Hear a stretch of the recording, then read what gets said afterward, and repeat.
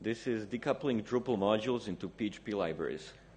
I am Bojan Živanovic, Bojan Z, and I am the commerce development lead, which means that I am paid to work full time on Commerce2.x, our Drupal commerce rewrite for Drupal 8.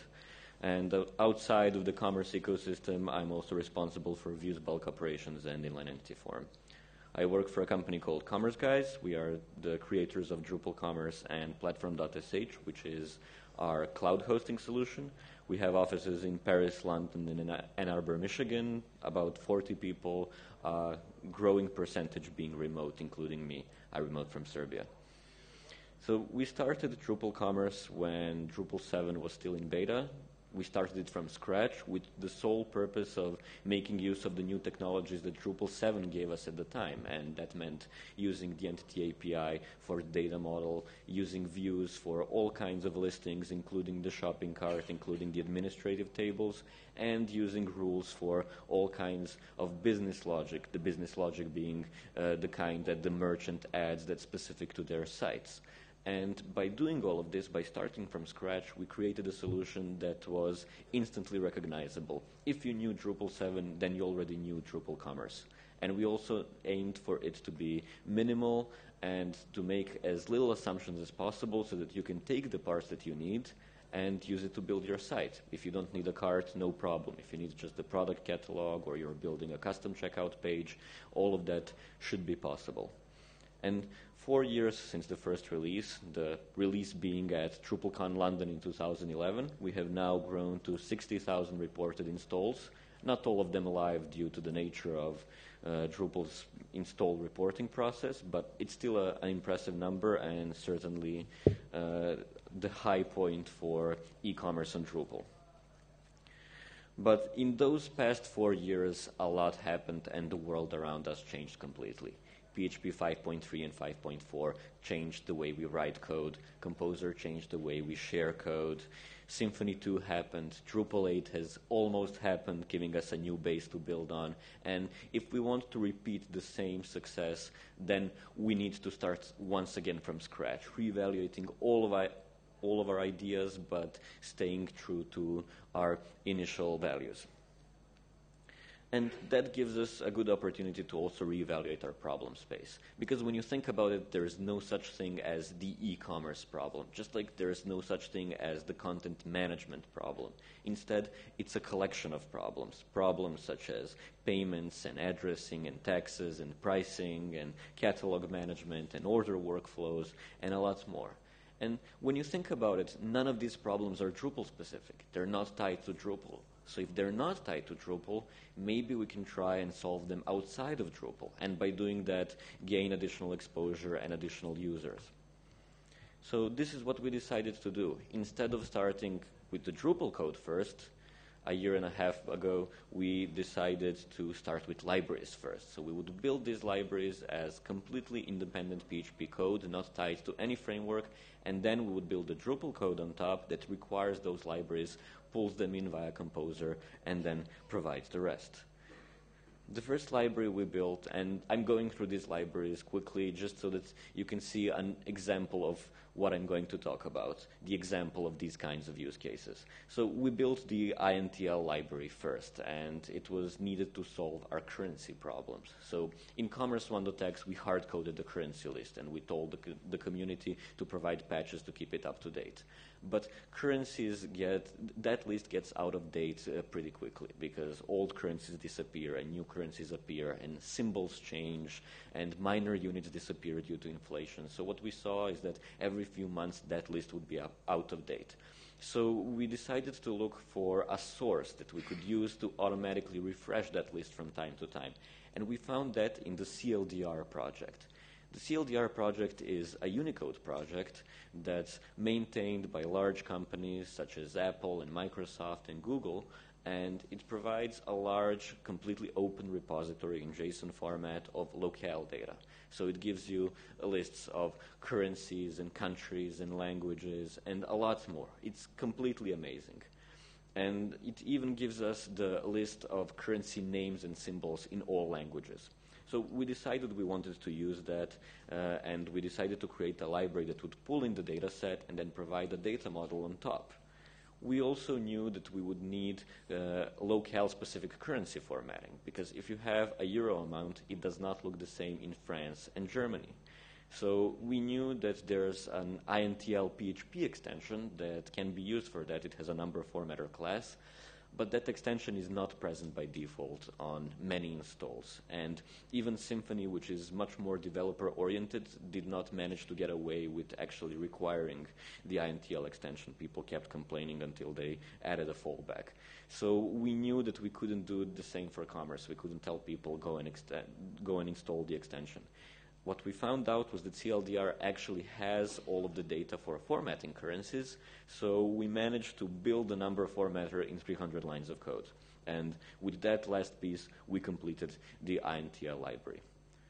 The next one is called addressing, and it's basically the library version of our address field module. So it handles storage and validation and formatting of postal addresses. Now, postal addresses are different from country to country. Different countries have different address formats. They have these rules for uh, which fields are used and in which order and how they're labeled and how they're validated. So we take these rules and we list them all in an address format. And we use that address format when formatting an address, when validating an address, uh, or when building an address form. Now, when we had all that, we realized that the next step is, of course, to have a good data set, to have the data for the countries. Uh, and we used to have our own data set back in Drupal 7, but we actually managed to find an even better one using Google.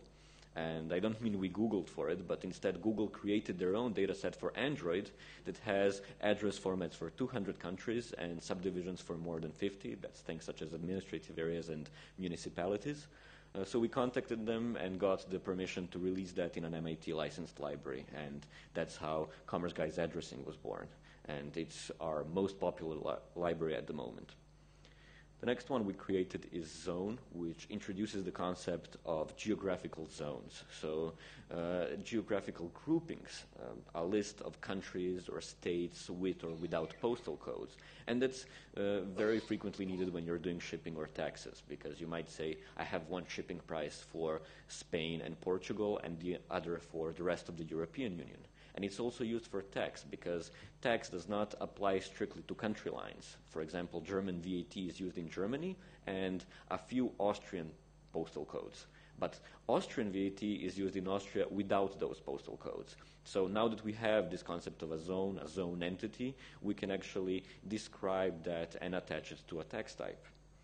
And our crown jewel is the tax library, which represents more than three years of research into tax problems uh, in e-commerce in general.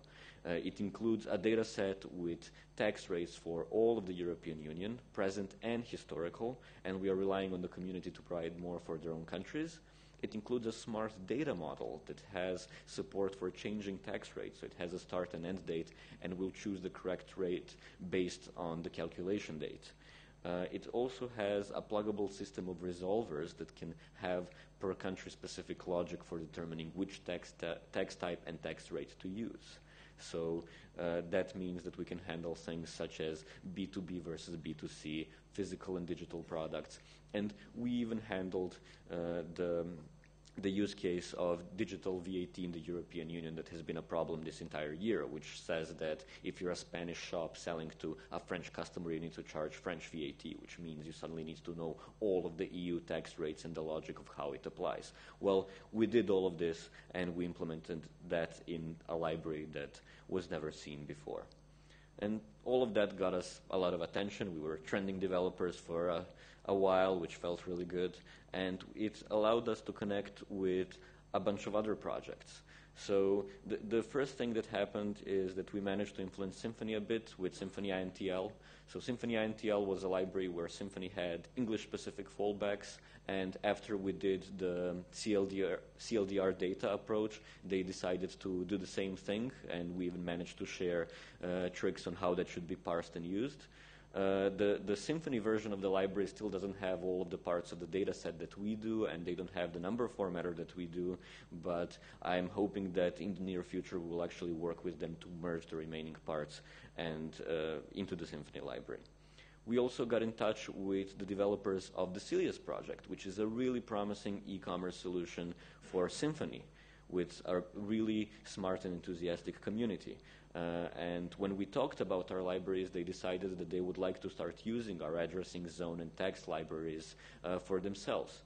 Unfortunately, that hasn't happened yet, mostly because they don't have any full-time developers, but if any of you are looking to start contributing to a Symfony-based project, I think this would be a good start. Uh, and the last part is that we have been adopted by SaaS solutions. So both FoxyCart and Konk have started using our tax library to handle their own tax needs. And this has been great because they've been using the tax library in production for six months, which means that they found bugs such as incorrect percentages in the data set, or, for example, you forgot about American companies registered in the EU to collect EU VAT. So they've been finding edge cases, and we have benefited from all of that and have a much more solid solution now, both in the library and for Drupal Commerce itself. So it has been a great ride so far. And we have more to come. So we've been thinking about the interaction between taxes and discounts and shipping and payments. There are a lot of problems that could be explored there, but this time around we decided that we want them to first mature in Drupal Commerce itself, and then we will start separating more. Simply put, we, the existing libraries took a lot more time than we originally anticipated, and that's something that I will comment on. So the main question is why would you do all of this?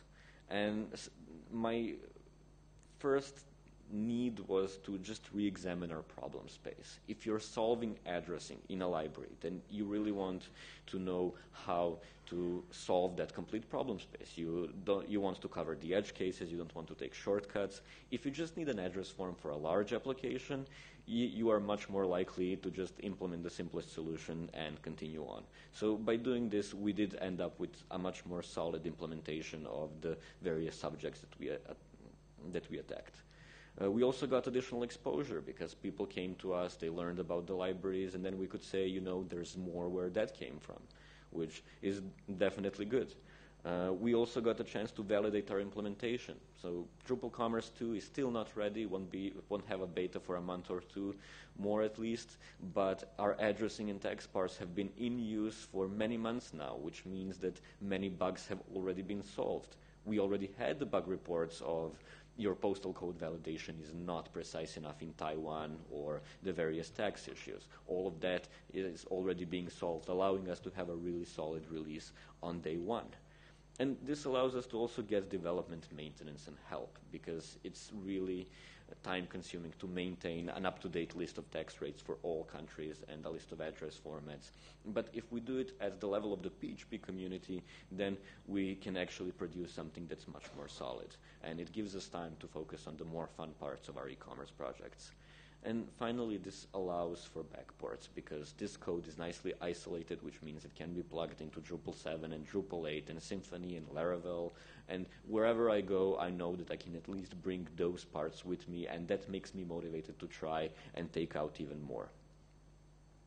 The not so hidden cost of that is time you know how it, if you build something for your own site, it's much quicker than building uh, a generic contrib module.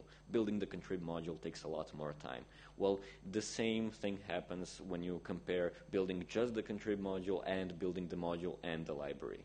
And this time cost has three pieces. The first one is just learning how to write a good library. And when we started, there were almost no good libraries because everyone wrote libraries that were tied uh, specifically to Symfony or some other project. We needed to learn a lot, but I think there are more examples now, so that cost is smaller. The second cost is, of course, the cost of evaluating and solving all of the edge cases. And that benefits us, so it's a good cost to have. Um, and so th those are some of the costs that we had. The third one is evaluating uh, the differences between the various systems.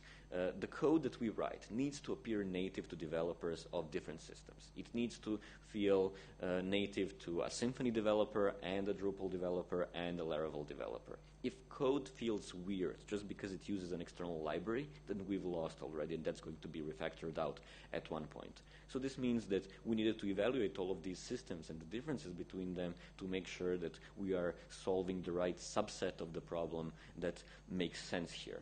And it means taking into account how different these systems can be. For example, Drupal is this dynamic, introspectable, configuration-driven system, which means that users expect a UI uh, and a, a, slightly different flow. But Symfony is this static code-driven system, which means that people expect to write more YAML and just don't care about configuration that much. So all of that needs to be taken into account.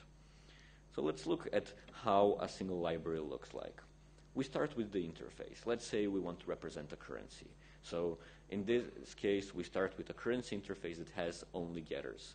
This is the basic contract that the currency needs uh, to fulfill. This is what other services need from a currency. So they need a way to get the currency code, the name, the symbol.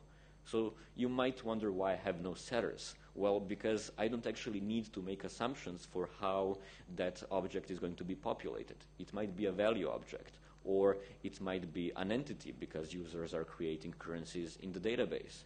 Uh, or it, other than allowing the parent application not to have setters, it also allows them to have different setters with different type hints. For example, if the currency interface is uh, type hinting against the country interface, but the parent application extends the country interface, it will want to type hint against the extended interface in most cases.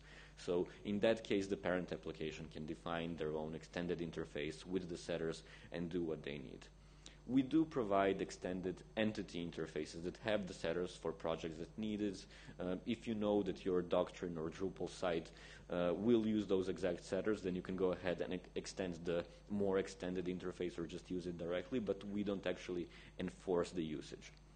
We also provide a default class, and this class is used in two cases. It's not used by Drupal or Laravel, but it's used when we load data from the data set, so from JSON that ships with the library.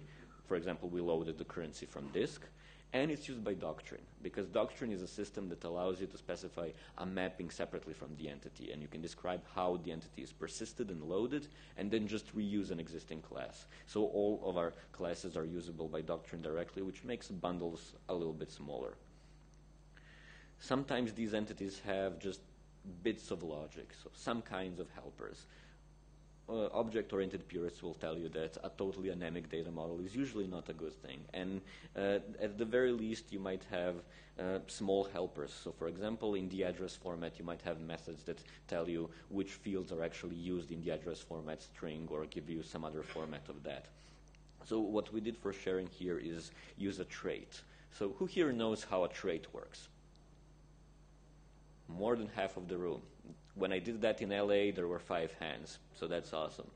Uh, so a trait is basically uh, language-assisted copy-paste. We define the trait like a class, and then we use it from the default class and the Drupal class and the Laravel class, and we share those methods, those methods that are common and have some logic. And by doing that, we can also unit test just the trait and not repeat the test on each side. So it's just a nice little trick uh, to share these bits and pieces. And Drupal actually uses traits for the same thing in its own entity API. Now, the next thing is collections. Many entities have relationships. And for example, a blog post has comments. And Drupal will give you just an array of comments.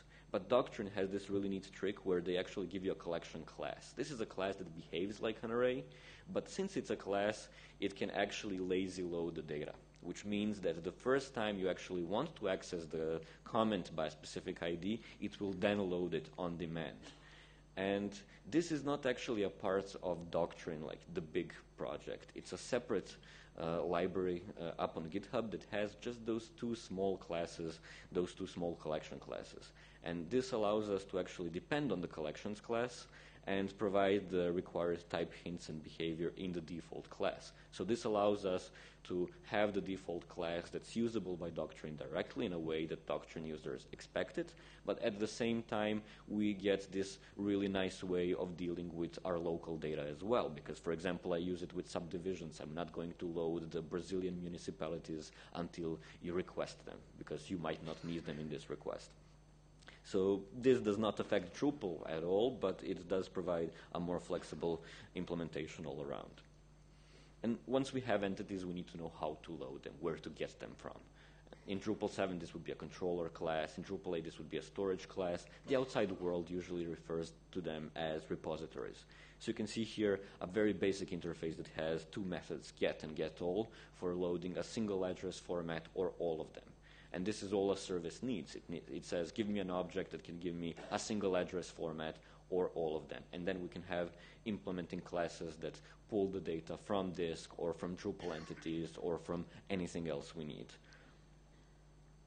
And once we have the data model, we want to do something with it. That's one of the main reasons why we created the library. We need to offer some kind of value, some kind of business logic. So this exists in classes that we can call services. And a service is just a regular PHP object that implements an interface and it, it does not assume it has a dependency injection container, so it just asks for the dependencies it needs in the constructor and then that can be passed manually or ca it can be wired into a Symfony bundle or a Drupal module. Uh, in this case, we can see a zone matcher, which is a class that will return the best matching zone for an address. And you can see in the constructor that it needs the repository. It needs the repository because it's going to load the zones. We type hint using the interface because we don't care which repository we get as long as it gives us some zones. And then below, we just use the repository, load the zones, match the address against them, and return them. This is an example of a service. A service is a small class that does one thing and does it well. Validate an address, format a currency amount, or determine which tax type to use, and so on and so on. We need to have tests. Ideally, we would have anything resembling 100% test coverage we, we write tests using PHP unit the same way we do in Drupal 8. Uh, and PHP unit is great because it runs really, really fast. We basically aim to have a matching test for every class that we add. And after a while, it just becomes second nature. And then we can use Travis on GitHub to run that on every commit. Let's look at some let's look at some problems and how we can solve them. So the first problem that we have between applications is translatable strings. Now, I don't mean translating entities. We can always assume that entities can be multilingual. For example, a currency can have translations in multiple languages with the name and symbol in German, French, and so on. But we have a problem with a single string. Let's say that administrative area types.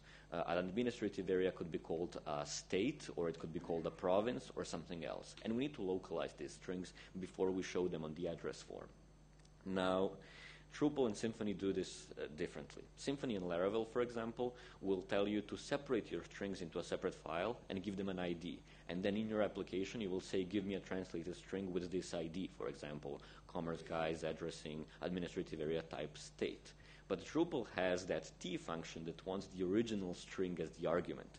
So this means that we cannot have unified translation. So what our libraries do is they reference constants, and then it's the job of the parent application to replace that constant with a translated value. And this is possible because we have a fixed set of possible values. And it would be possible to have a lot of them, which would pollute the interface that we're using. So we started using this concept of an enum class. Uh, this is, other languages have enumerations, so in this case it means that it's a class that lists the possible values. So for example, this is the list of labels a city field can have. It could be called a city, a district, a post town. And then the class has just a little bit of sugar that allows us to say, give me the default value or give me all values, which is really useful when you're building UIs. For example, the UI for defining or editing address formats. The Commerce Guys Enum library is 100 lines of code, but it has helped us clean up some of our other libraries. The second problem we need to think about is pluggable implementations. So let's remember how tax types are resolved we call resolvers until one of them gives us the answer. So we call the one for France, one for the EU, one for the US, and we keep calling them until we get something back. Now, the main class that does this invoking, it does not care where the resolvers came from. The library does not care about discovery, and it shouldn't. That's the job of the parent system. Now, both Symfony and Drupal 8 have this concept of tagged services, and it's one of the most one of the new major Drupal 8 extension patterns, where basically in your services YAML file, you add all of the resolvers that you have, and you give them a tag. And since it's the same tag, the container can get all of those services, and then you can pass them to the central class. So that's one of the, way, the ways that it can be done. Now, Drupal 8 has one additional extension pattern, and that's plugins. A plugin is a class that gets configuration from somewhere else, usually a config entity that's edited through the UI. And here below we have an example of a plugin. This is a constraint plugin, which is used in validation. A plugin is not registered in the container. It has an annotation on top. Uh, and in this case, we can see that Drupal decided to use a plugin to integrate Symfony Validator. So the plugin is extending the Symfony Validator library class uh, to make it discoverable and make it work. So this is one additional pattern that uh, might be expected from integrators if there's configuration coming from outside. The important part is knowing when to stop. Know which problems should not be solved. For example, Symfony and Drupal have wildly different form implementations. And Laravel has none. It has no official one as far as I know. So this means that it's highly impractical to provide forms in your library. You just don't want to do it. Leave that to the parent application. You might be tempted to say, okay, I will build a generic form and then implement transformers that output a Symfony form or a Drupal form, but that you're once again back to weird code, code that does not feel native to the developers of either system. So just don't do things like that. I also wanted to mention a few details around the Drupal integration that we came across when doing commerce. So, of course, the first one is that once you need Composer libraries, Drupal modules are only installable using Composer. You cannot download the module manually using a tarball and then download the library manually into some folder and have it work. Libraries and all PHP packages in general must be installed using Composer. And if you've been following along Composer and Drupal, it has been this long battle, but a constant set of improvements. Uh, and it basically means that you need to edit the root composer JSON, that it's at the root of your Drupal install, and add the requirements there, or use Composer as a drush make alternative and download the module. So if you do Composer require Drupal Commerce, since it does recursive dependency checking, it will also download all of our libraries because they are the dependencies of that package. Uh, now, I would need uh, a whole talk just for the composer details, so you can look at a blog post that I wrote just recently detailing all of the tricky details around Composer right now. I should mention that we've had a series of talks here at the DrupalCon that will make that blog post significantly smaller and less awkward. So we are definitely making progress just in time for RC1. Uh, the second thing I wanted to mention is implementing entity types. Uh, so let's say that we have a Drupal currency entity. This allows us to have a config entity where users can uh, create a custom currency or edit the details of an existing one. This uh, means we need to have a currency interface. And interfaces can extend multiple other interfaces. In this case, we are extending the library one, saying this behaves like the currency the library expects and it extends the library for a config entity, saying this object uh, behaves like a config entity should. And that's all there is to it. But uh, it's, it's good to remember because if you type hint only, oh, if you implement only the library interface, then you've missed the config entity one. Let's talk about library ideas. Which problem should we actually tackle now that we know how to tackle them? The first one is the set that I call hard problems. So these are the problems that require domain knowledge. These are the problems that require experience. So that means that you can actually take your knowledge and turn it into code form and create immediate value. A good example of this is tax. So these are the problems that other systems frequently get wrong, and e-commerce is full of such problems, taxes and addressing and so on. The other kind is boring problems, and these are the problems that are not hard, but they have a lot of edge cases. So an example of that is making sure that you have all of the address format information that you need and you've handled all of the quirks of Montenegro's VAT system and so on. So sometimes the boring and hard problems overlap a bit. Uh, and in this case, you really benefit from the additional attention and the additional users that you can get by releasing to the wider PHP community. And when I talk to other e-commerce maintainers, they say, yeah, we love libraries. So let's create a cart interface. The problem with that is that nobody cares about your cart interface. Why? Because someone else can create a cart interface in 10 minutes. Everyone has an opinion about data models. If your library can be reinvented in an hour, it will be reinvented in an hour because you're obviously not providing enough value. The library should be something that saves someone a week or a month of effort, and by doing that, you know that you're providing true value. And an example of a boring problem that you probably don't want to solve is, for example, logging. When was the last time you wrote a logging library? You don't. But if you use Monolog, suddenly you have uh, 100 handlers for all kinds of backends. So this is an example of good value that you probably wouldn't reinvent. Com unlike routers, for example. Everyone has their own. And now that we've seen all this, it's time to think about what it is that Drupal can give back. People say that you can find anything on Packagist, but there's quite a lot you cannot find on Packagist, but things that Drupal has. And uh, the, this is just my personal opinion, so I'm just throwing ideas out there. It's, it's definitely something we should have a big discussion about. Uh, one of the examples I have is Migrate. Migrate is one of my favorite projects from Drupal 6 times even. It has a great API for loading and extracting and transforming data and performing data migrations. If we had uh, a generic ETL library, then there would definitely be value in that. And we should look at whether we can move some parts of Migrate outside of Drupal. The second one is our darling views we always say that views is something that makes Drupal special. And what I've seen is that views is starting to get reinvented in the Symfony community.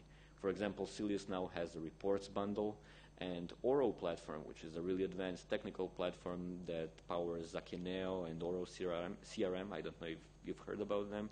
They also have their own views uh, thing that basically allows you to define a view in YAML and then transforms that. But it's all very primitive. It doesn't have the concept of pluggable fields and displays and all of the bells and whistles that we've accumulated over the years. So it, there would be value in providing some pieces of that, at least as a guide to follow. And there's more. Let's take the incredibly cool Drupal 8 render caching. So if you've seen the talk that Wim Leers and Fabian have given, you, you would have seen that Drupal 8 is really smart about knowing what it can cache and for how long, because each object that's a part of the rendering provides its own cacheability metadata, and then that is used to assemble the final knowledge that's then used to cache different versions of the page or decide whether they, they can be used. So I don't know what can be taken out of that, but there's certainly some knowledge there that could be taken. And there are more and more examples. You can surely think of them, modules that have been uh, worked on and reworked for many years that have some kind of domain knowledge that can be documented and shared. So that's something to think about. Time for questions and a discussion. Let's see how much time we have. Okay, so we have five to ten minutes.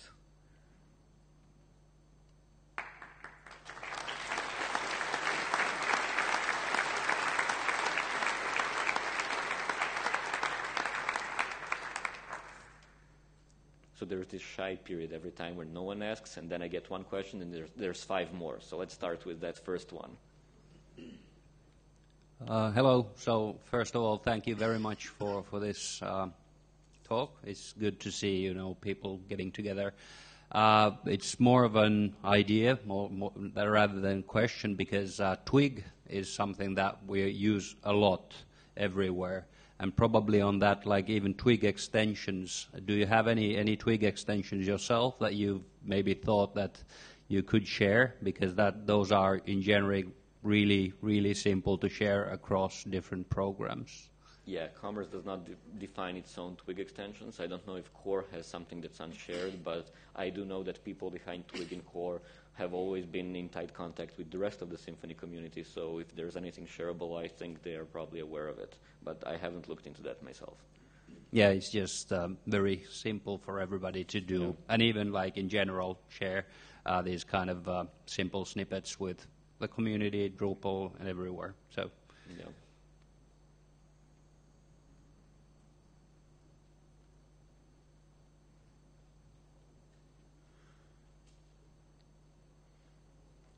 I will be at the Commerce Guys booth downstairs in the exhibition area for the rest of the day and tomorrow as well.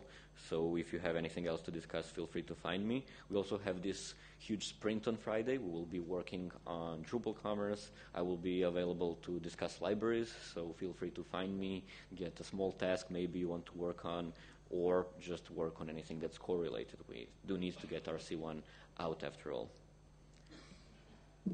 And make sure to evaluate the talk. Thank you.